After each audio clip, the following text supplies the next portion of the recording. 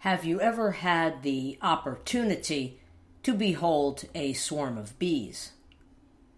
I use the verb behold because you don't just see the bees, you look upon them, like Mary Magdalene looked upon the empty tomb of Jesus Christ.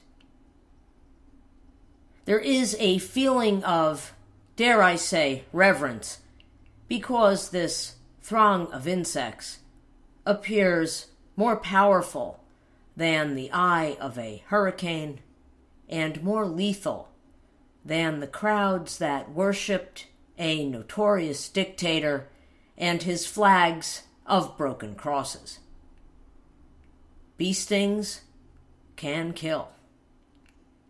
But when this other venom we know as anti Semitism makes its way into the body, it sickens its victims with so much hatred that what we recognize as the true self is brought to extinction. I dream of catching them with their apparently harmless spray paint cans halfway through their graffiti unfinished. Or I could leave them be with the hope that their pro Nazi prattle, rendered with an aerosol, will die from unoriginality. But do I really want to run the risk of the masses developing a preference for their anti Semitic slogans merely because they are familiar with them. Crazy concept?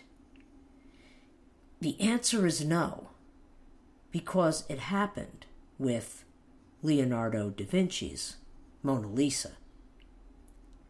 The last thing I want to see is a swastika on a bath towel or toilet seat. So I will keep my warrior gear close at hand.